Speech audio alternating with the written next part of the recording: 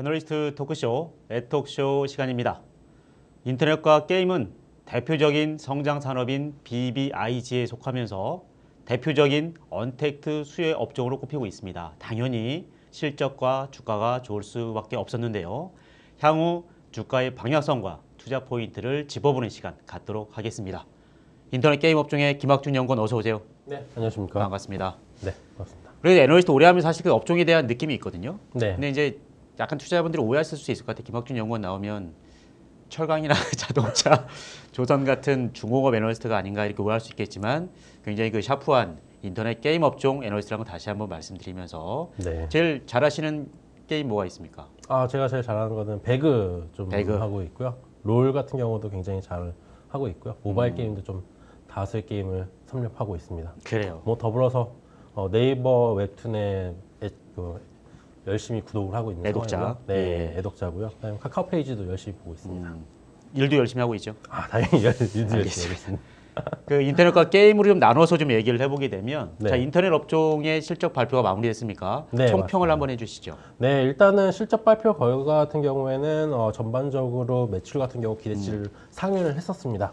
어, 그래서 실제 매출들이 저희 보통 예상 대비해서 약한 5%에서 음. 10% 정도까지도 매출액이 예상보다 높게 나왔었는데요. 그렇게 높게 나왔었던 건 대부분 다 보면은 광고 매출이 성- 생각보다 좀 좋- 좋게 나왔었고요. 음. 더불어서 이제 commerce 성과도 생각보다 나쁘지 않게 나왔었습니다. 음. 더불어서 어, 웹툰 같이 작년도에 제작 제가 계속적으로 말씀을 드렸었던 웹툰들 성과도 굉장히 호조세를 보였기 때문에 업종 전반적으로 지금 사업 부문별로 좋은 모습들 다 음. 보여줬다라는 점에서 매출액이 좋았었습니다. 하지만 제가 저번에 나왔을 때 말씀드렸던 것처럼 어, 인터넷 업체들이 공격적인 투자 비용이 높아질 음. 것이다라고 말씀을 드렸었는데요. 말 그대로 인건비와 마케팅 비용, 그 다음에 기타 어, 이제 부대 비용들이 많이 늘어남에 따라서 이익은 저희가 원래 예상했던 수준 정도로 나왔다 이렇게 인터넷 업체들은 좀 볼 수가 있을 것 같습니다. 음, 매출은 커머스나 웹툰 광고 성과에 기반해서 기대 이상이었지만 네. 투자 비용과 마케팅 비용 요인 때문이라도 이익은 예상 수준이었다고 좀 말씀을 해주시고 계신 거고요. 아무래도 뭐 매출이 좀 많이 나오게 되면 향후 이런 투자 성과들이 본격화 됐을 때 이익도 그 이상으로 늘어날 수 있는 그런 방향은 우리가 기대할 수 있을 것 같습니다. 네 맞습니다. 자, 우리가 쿠팡 얘기를 좀 안 할 수 없을 것 같아요. 아 그렇죠. 쿠팡이 뉴욕 증권거래소 상장 얘기가 좀 나오고 있고 네. 이에 따라서 이커머스 업종에 대한 좀 재평가 얘기가 충분히 그 힘을 얻을 수밖에 없을 것 같아요. 물론 그 이분은 우리 유통업종에 물어볼 수도 있겠지만 네이버나 카카오 같은 인터넷 업종들이 전부 다 e-commerce를 같이 하고 있기 때문이라도 이 쿠팡 상장이 인터넷 업종 가치에 어떤 영향을 미칠지 김학준 연구원의 혜안을 한번 말씀해 주시죠. 네, 일단은 어, 최근에 쿠팡이 이제 뉴욕 증권 거래소 쪽에 어, 음. 어, 이제 상장한다라는 뉴스가 나오면서 국내 commerce 업체들 같은 경우 지금 현재 어, 지금 기대치가 높아지고 있는 상황인데요. 어, 국내 업체들 commerce 중에서 가장 대표적인 업체가 이제 네이버라고 할 수 있겠죠. 지금 상장 value가 물론 이제 상장을 진행해봐야 알겠지만 대략 50조 원 내외까지 지금 언급되고 있습니다. 네, 그러니까 언론상에서는 한 45조에서 60조. 그렇죠. 어, 예, 그러니까 낮은 데는 45조, 높은 데는 60조까지도 지금 value 언급이 되고 있는 상황이어서 실제로 지금 쿠팡 같은 경우가 작년도 어, 거, 거래 전체 거래액 같은 경우가 한 26조 원 정도 음. 네 정도 수준이 된다 보시면 될 것 같아요. 그래서 26조 원 정도 수준에서 어, 대략 그 정도 value로 언급이 되니 음. 거래액 대비 한 1.5배 정도의 지금 value를 받을 수 있다 이렇게 지금 평가가 되고 있는 상황이고요. 실제로 네. 우리 그 국내 주식시장에서는 뭐 그 이마트가 되든 네이버가 되든 실제로 인터넷 이커머스 업체들이 거래액 대비 뭐 1.5배 이 정도 수준의 그 가치를 부여하고 있지 않잖아요. 네, 전혀 그 정도는 음. 부여하지 않고 있고요. 실제로 아무래도 국내 업체들 같은 경우에는 해외 업체들 대비해서는 아무래도 좀 더 이익률이 낮거나 그 음. 이익률 쪽으로 좀 더 중심으로 나- 갖추고 있고요. 아마존 같은 경우가 제가 이제 최근 어저께 이제 체크해 본 바로는 대략적으로 한 1.7배 그 정도 음. 네, 그 정도 내외에서 지금 받고 있는 상황이기 때문에 한마디로 지금 해외 업체들이랑 거의 동일한 비슷한 수준으로 쿠팡이 지금 상장하려고 한다라고 보시면 될 것 같습니다. 그렇기 때문에 어떻게 보면 국내 증시가 아니라 뉴욕 증권거래소를 선택했을 수도 있는 그런 그 배경일 것 같아요. 네, 맞습니다. 자, 만약에 그렇다고 보면 네이버를 이러한 그 쿠팡의 가치와 좀 연동을 했을 때 네이버 기업 가치도 좀 상당히 바뀔 여지가 있을 것 같은데 네. 어떻게 보십니까? 네, 네이버 같은 경우에는 실제 지금 기업 가치 같은 경우 저희가 지금 보고 있는 어, 어, 지금 보시, 아, 네네. 한번 네, 화면을 보고 화면 계시군요. 보시죠. 네, 이제 저희 valuation 같은 경우 SOTP 기준으로 이제 쿠팡을 적용할 경우에 어, 이러한 모습들을 지금 보여드리고 있는데요. 지금 어, 사업 플랫폼 같은 경우 이제 저희가 보통 2조 원, 아, 20조 원 정도 가치를 주고 있고 commerce 같은 경우에는 저희가 보통 이제 예상 순이익을 지금 어, 측정을 해서 그 부분에다가 어, 이제 아마존과 알리바바의 21년 평균 PER 40배를 현재 지금 적용을 하고 있습니다. 그래서 거기에 이제 순이익을 어, 타겟 PER에 곱해서 어, 거기에 따른 지금 어, valuation을 지금 현재 조정을 하고 있는 상황인데요. 그래서 실제 지금 어, 네, 말씀, 아, 네, 그, 그것을 아까 말씀드렸었던 어, 쿠팡의 어, valuation 거래액 승수가 1.5배로 말씀드렸었잖아요. 그 부분을 이제 곱하게 된다면은 commerce 사업 가치 갑자기 40조로 변할 수가 있는 부분이 되게 됩니다.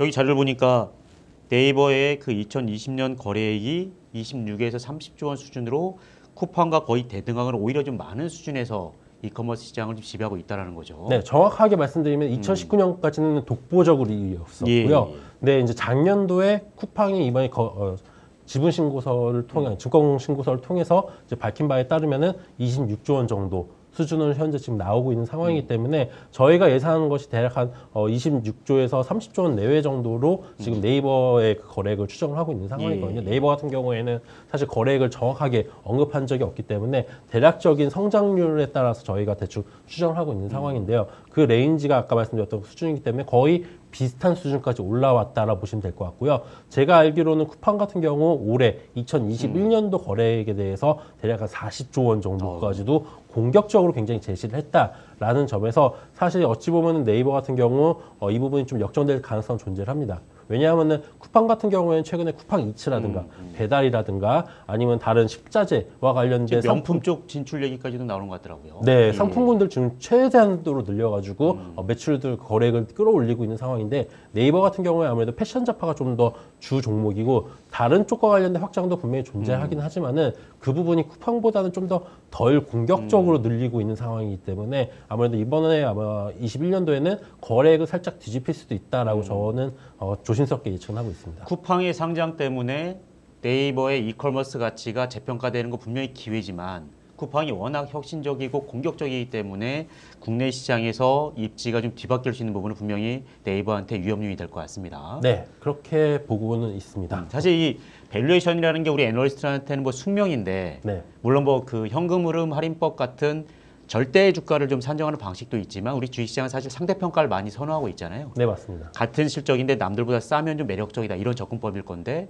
대표적인 게 우리 배터리가 그러거든요. 배터리도 CATL이 올라가면 뭐 삼성 SDI나 LG화학 전부 다 valuation 높게 줄 수 있는 이런 좀 그 근거로서 활용하게 되는 건데 그러다 보니까 네이버도 쿠팡이 분명히 상장이 되고 기업 가치를 높게 형성받으면 대표적인 우리 이커머스 업체로서 이마트도 마찬가지겠지만 좀 재평가될 수 있는 충분한 근거가 생길 것 같습니다.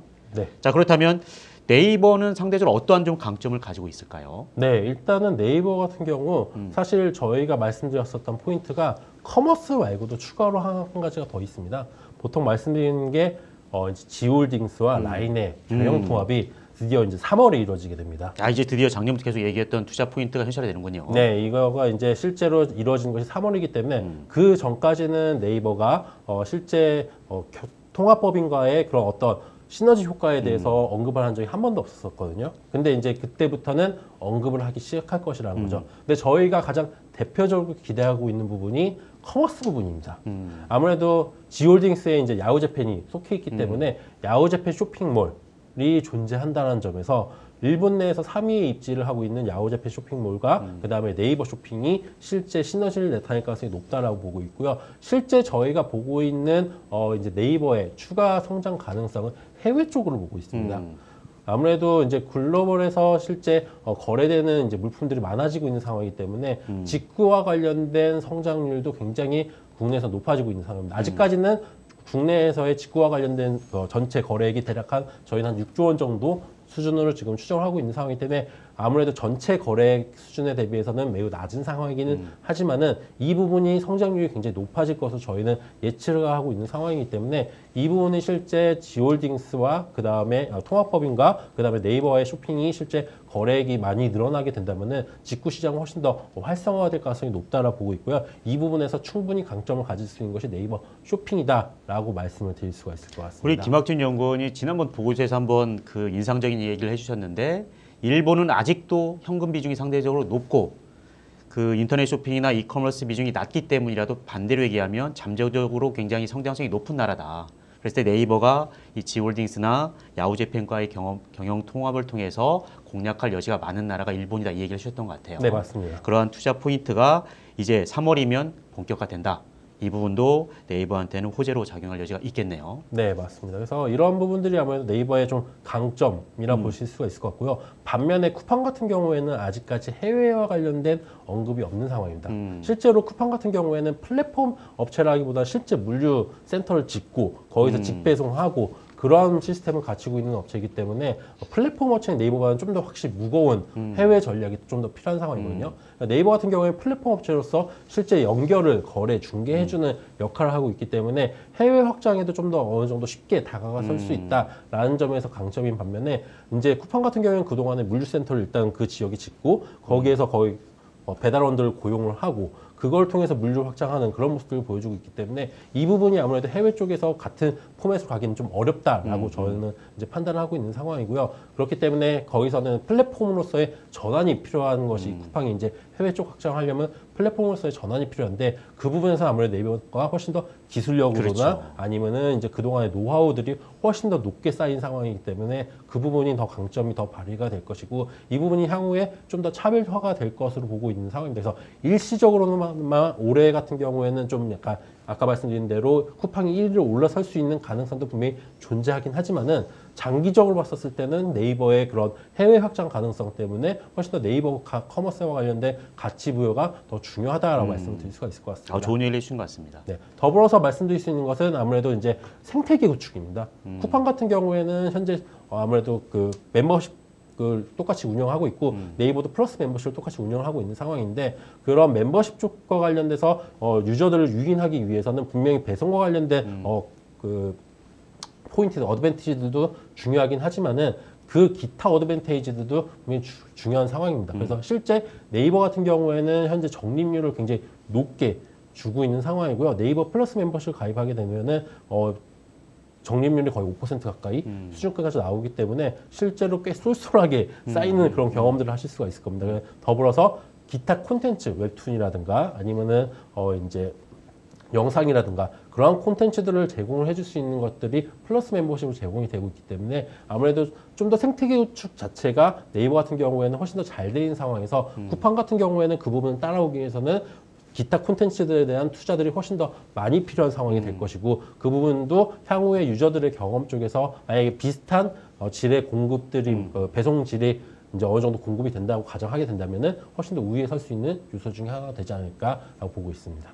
네이버가 해외 성과라든지 국내에서의 플랫폼이나 컨텐츠의 경쟁력에서 분명히 앞서 있다는 부분을 다시 한번 강조를 해주셨고요. 네. 우리 게임으로 넘어가기 전에 카카오도 잠깐 언급을 해야 될 것 같아요. 우리 네. 카카오의 이커머스 쪽만 좀 잠깐 경쟁력을 같이 비교해서 말씀해 주시면 투자들에게 좀 도움이 될 것 같아요. 네, 카카오 같은 경우에는 아직 거래액이 채 10조 원이 안 되고 있는 예, 예. 상황이기 때문에 사실 아까의 말씀 쪽에서 조금 언급드리기가 좀 약간 음. 애매했던 것이 아무래도 20몇 조 원씩 되는 애들의 그런 공룡 싸움에서 음. 실제 SSG 정도 수준, 쓱 정도 수준인 음. 이제 카카오 같은 경우에는 commerce 부분에 어느 정도 강점을 발휘할 수 있긴 하겠지만은 아직까지는 카카오 같은 경우에는 실제 이제 구매 같은 경우 선물하기 중심으로 매출들이 맞습니다. 많이 예. 형성이 되고 있기 때문에 그 아무래도 상품군 확장 쪽에서 아무래도 다른 업체들 대비해서는 조금 더 약한 부분이 음, 존재합니다. 다만 이제 카카오의 강점은 실제 인맥 쪽과 관련돼서 선물하는 부분 쪽에서는 확실하게 강점을 갖고 있기 음, 때문에 고가 라인으로 갈 수 있는 분명히 존재 가능성이 존재하고 있다고 하고 있고요. 실제 명품과 관련된 화장품이라든가 아니면 액세서리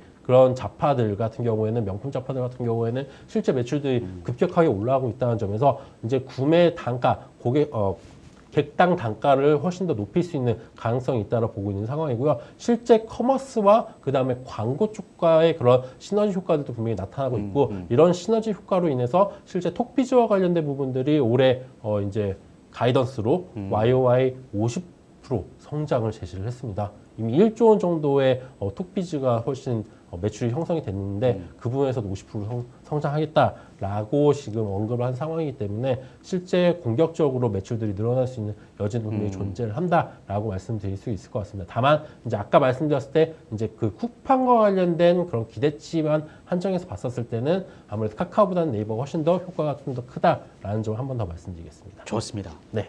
쿠팡이 상장되면 네이버의 이커머스 가치를 좀 더 재평가해 보자. 요게 이제 우리 인터넷 쪽에서 주요한 포인트를 좀 말씀을 해 주셨고요. 네.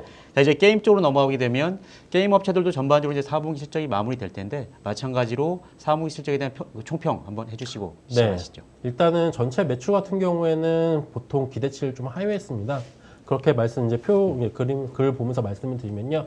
기대치가 하회됐는데 그 부분의 대부분이 환율 하락 쪽 요인이 좀 더 컸었습니다. 그래서 환율 하락 쪽이 좀 더 이제 매출이 소폭을 하락하는 요인들이 있었는데 어 인센티브가 좀 많이 지급이 되면서 영업이익이 예상보다 좀 크게 하회를 했습니다.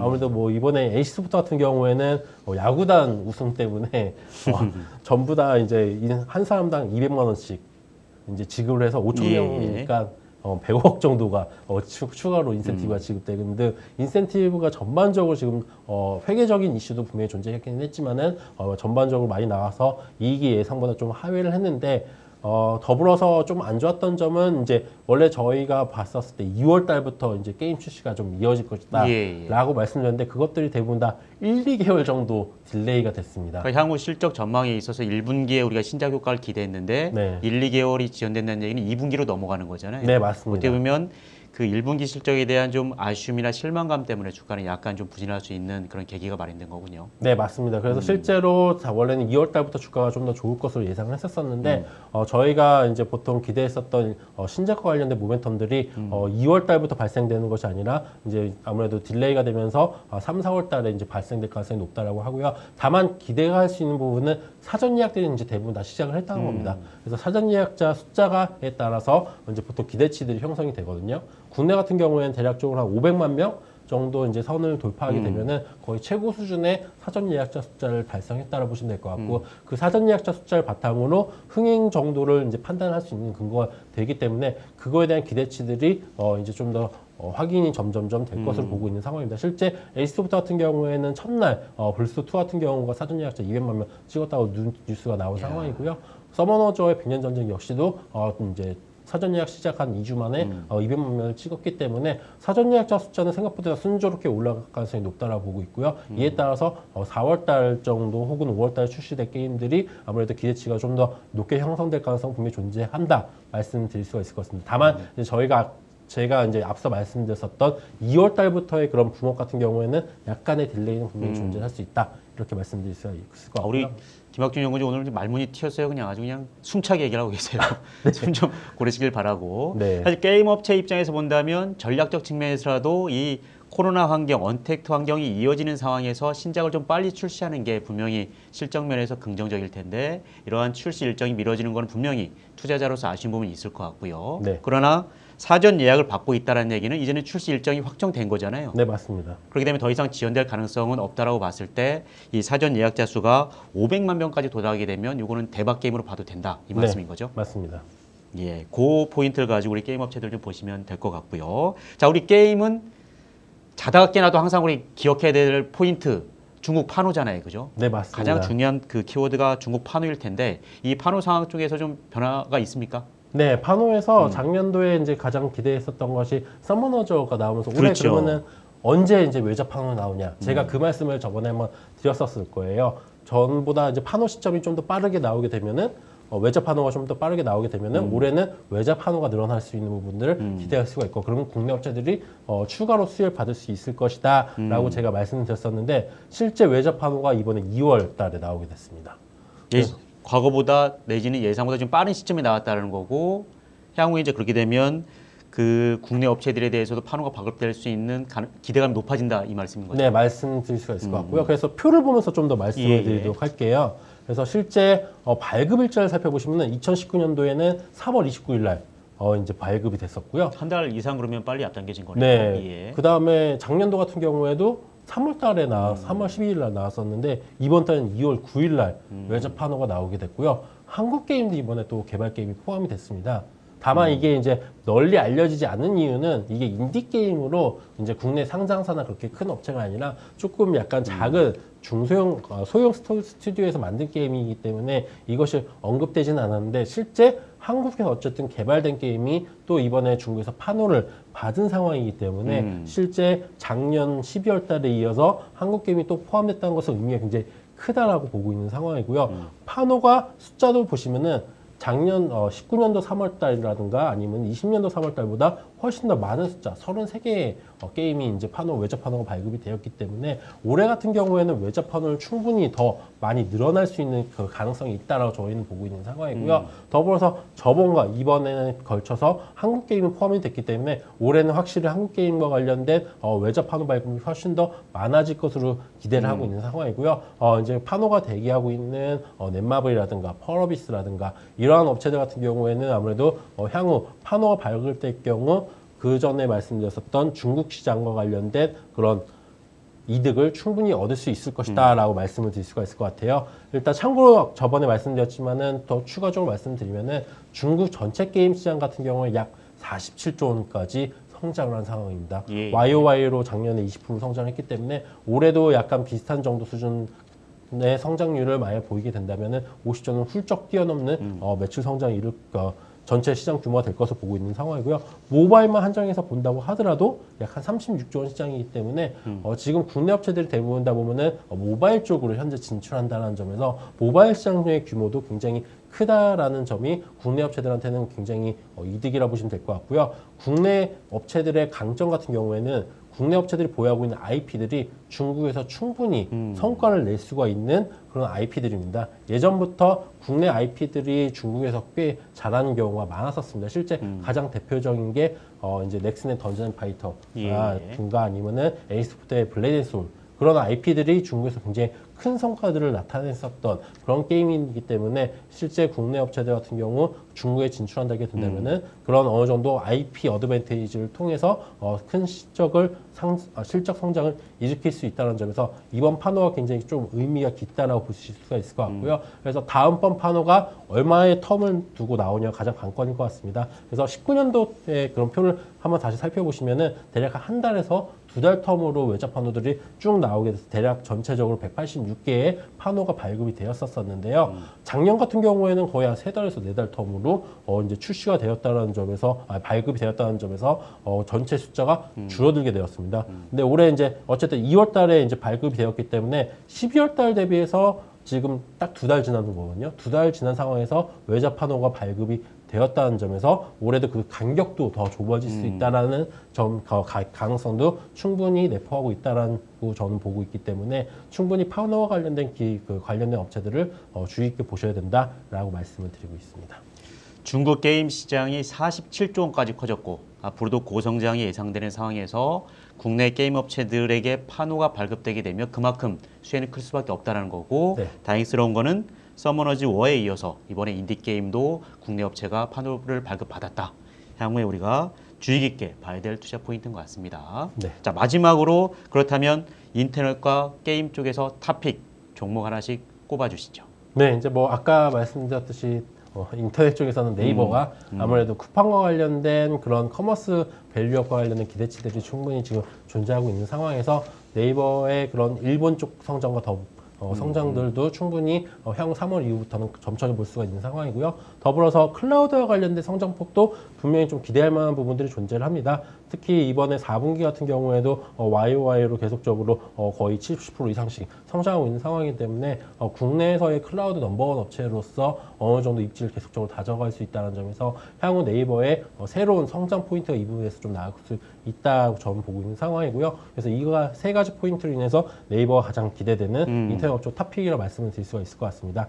아, 게임 쪽에서는 이제 저희는 NC 소프트 를 계속적으로 top pick으로 말씀드리고 있는데요. 아무래도 게임 쪽과 관련돼서 어, 국내에서 가장 많은 게임들을 올해 출시를 하, 할 수가 있습니다. 특히 이제 NC표 IP라고 할 수 있는 블소 그 다음에 리니지 2M, 그 다음에 아이온 2 모든 IP들을 활용해서 지금 출시가 되고 있는 상황이기 때문에 아직까지 리니지와 리니지 2M의 국내에서의 매출들이 어느 정도 안정적으로 어, 형성되는 상황에서는 이러한 매출 어, 신작들이 어느 정도 레벨업을 할 수 있는 그런 단계별로 성과들을 낼 수 있을 것을 보고 있는 상황이기 때문에 NC소프트 같은 경우에는 뭐 비싸다라고 보실 수도 있긴 하겠지만은 100만 원 이제 단가로서는 높아졌기 때문에 보실 수가 있겠지만은 실제로 실적이 그만큼 받쳐주면서 올라가는 어, 주식이기 때문에 올해 이후에도 내년도에 이제 전체 어, 콘솔 게임들도 출시된다는 점에서 파이프라인이 가장 잘 갖춰진 업체이기 때문에 NC소프트 같은 경우에는 안정적으로 성장할 수 있다라는 점에서 가장 top pick으로 음. 말씀을 드리고 있습니다. 결국은 이제 top pick은 대형주 위주로 추천해 주셨습니다. 인터, 인터넷은 네이버, 게임은 NC소프트. 네, 맞습니다. 오늘 좋은 말씀 감사드리고요. 네. 그 인터넷과 게임 업종에 대한 투자 포인트 짚어봤습니다. 쿠팡의 뉴욕 증권거래 상장을 계기로 그 국내 이커머스 업체들의 그 기업 가치 재평가 모멘텀이 형성되고 있다라는 거고 게임은 신작 모멘텀이 약간 출시가 지연된 건 아쉽지만 중국 판호 발급에 대한 기대감이 커진 것 역시 우리가 주의 아 관심 있게 봐야 될 투자 포인트라고 좀 말씀을 드리고요. 네이버와 NC소프트 관심 있게 봐주시길 바라겠습니다. 오늘 애톡쇼 시청해 주셔서 감사드리고요. 오늘도 성공 투자 기원하겠습니다. 고맙습니다. 감사합니다. 미국 주식 투자도 역시 키움증권. 40달러 받고 미국 주식 키움증권에서 시작하세요. 투자 시 원금 손실에 유의하세요.